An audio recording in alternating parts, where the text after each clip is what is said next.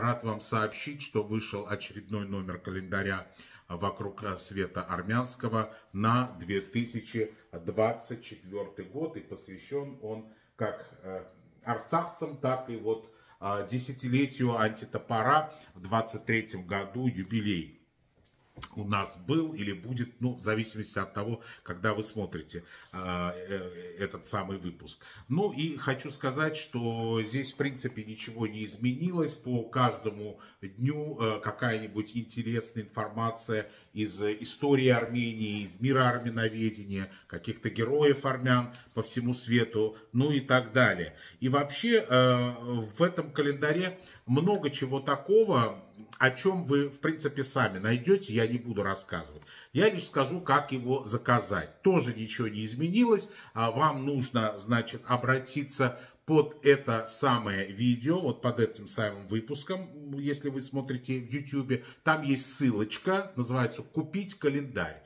Вот проходите по этой ссылочке, заполняете купон и вместе с оплатой, там сумма тоже указана, какая сумма, вместе с оплатой отправляете, значит, по а, указанному адресу. И если вы проживаете вне Российской Федерации, за пределами а, Российской Федерации, а, то вы можете написать на электронный адрес и спросить, как нам получить, э, значит, этот календарь э, за пределы России, то есть там в Соединенные Штаты, в Европу, в Армению, в Грузию и так далее. А, я или ребята, которые мне помогают, вам обязательно ответят и скажут, как это лучше э, сделать. Ну, это что касается календаря. Ну, а теперь выпуск. Приятного просмотра. Я бы хотел обсудить сегодня некоторые темы, которые стали обсуждаемыми на разных площадках. И в России, и в Азербайджане, и в Армении. Давно заметил, что у Путина достаточно странные советчики, а может это один человек, э, некий герой такой, Имре Кальмана, мистер Икс, о котором ничего не известно. Но, судя по советам, а, можем догадываться. Заметьте, все, что он или они ему советуют, Путину, а, все во вред России прежде всего. Я уж не стану перечислять, у всех у нас голова на плечах, как вы понимаете. А недавний спич президента России так и вовсе меня удивил. Понятное дело, что у глав государств есть спичрайтеры. Но кто сказал, что эти спичрайтеры должны быть этнологами? А текст был написан э, по случаю беспорядков в аэропорту Махачкалы, где группа молодых э, людей устраивала беспорядки в поисках евреев среди пассажиров самолета, прибывшего из Тель-Авива.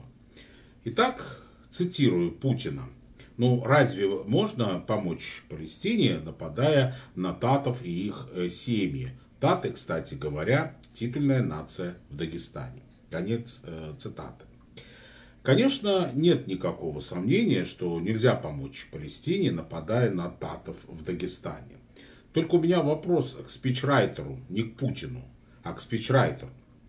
Причем тут таты и их титульная принадлежность Дагестану? Может быть, я что-то пропустил или некто нападал в Дагестане на татов, э, которые ираноязычный народ, мусульмане по вероисповеданию – чего на них нападать из-за Израиля? Может, их перепутали с евреями горскими, которые живут в Дагестане, действительно живут, и тоже ираноязычные, но в отличие от татов как раз исповедуют иудаизм.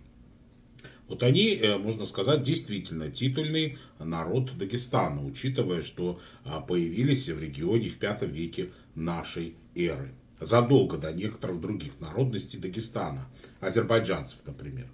А вот что касается татов, то они титульный народ Абширонского полуострова, города Баку. Какому спичрайтеру нужно было освобождать их от автохтонности современного Баку и переселять их э, в Дагестан?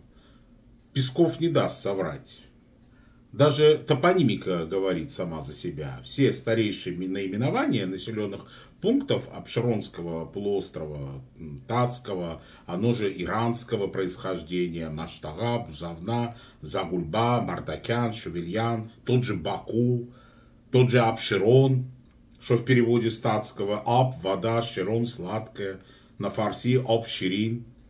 Азербайджанцы могут сказать, что щирин это по-азербайджански сладкий, но это не так. Слово заимствовано у иранских народов. И доказательство тому, что из всех тюрок только азербайджанцы и узбеки говорят щирин. Остальные 95% тюрок сладкое называют татлы, татлу и так далее. Понятное дело, что такие тонкости, как и статами, э, Путина-то и не надо знать. Он руководитель большой страны. А вот к спичрайтеру вопросы. А в общем, я не знаю, каким образом и кто становится спичрайтерами первых лиц государства, но э, рекомендую тщательный отбор. Вообще, э, хороший, умный спичрайтер – это как второе полушарие мозга любого главы государства. У Путина в разное время были Симон Кордонский, Джахан Палыева, Аббас Галямов. Кто сейчас, к сожалению, я не знаю. Наверное, Песков в курсе, он все-таки на отделении э, тюркологии учился. Там они часто меняются. А самым продолжительным, кстати говоря, в мировой политической истории спичрайтером является Кен Хачикян. Он был спичрайтером нескольких американских президентов э, Ричарда Никсона, э, Джеральда Форда, Джимми Картера и Рональда Рейгана. Последнему даже он написал инаугурационную э, речь. Вот такой был Кен Хачигян. Он, кстати, по-моему, жив до сих пор, если мне не изменяет память, и ему глубоко уже за 90. И тут уместно было бы, наверное, перейти на армянскую диаспору. Азербайджанцы и не только зачастую говорят о том, что армян за пределами Армении больше, пытаясь, как им кажется, тем самым либо в дурном свете их выставить, армян, либо шуткой отличиться, а может и остроумием, которого нет. Причем те, кто это делает, особо даже не разбираются ни в законах социологии, ни в истории народонаселения. Видимо, это модно, ведь и без этого можно стать, например, спичрайтером. Зачем вообще в чем-то разбираться? Тем не менее, я внесу ясность тем, кто действительно так думает. Армяне не единственный народ, коих больше за пределами исторической родины.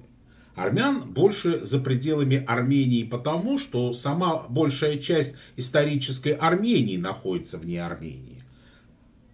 Одна только западная Армения чего стоит что нынче там, вот, на территории Турции, гора, гора Арарат, Карс и так далее.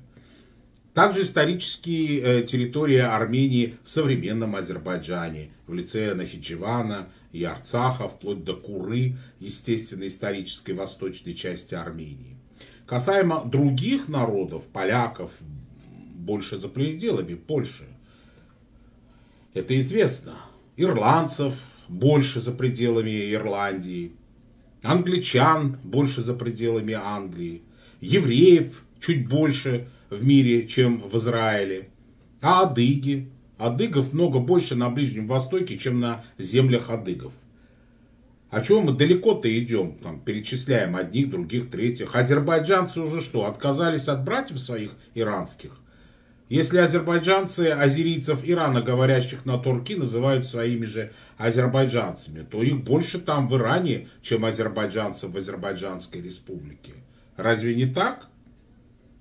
А недавно безмозглая часть Азербайджана в лице двух известных нам пропагандистов-дегенератов Аризвана Гусейнова и Фуада Аббасова решила испугать армян ее же этнонимом Хай – в частности, они заявили, что отныне и во веки веков будут называть армян не армянами, а хаями, как они сами себя, дескать, называют. Видимо, у дегенератов закончились аргументы против армянского народа, как одного из древнейших народов мира. Дегенераты считают, что те древние армяне это на самом деле современные азербайджанцы, а вот современные армяне это индийское племя хаев.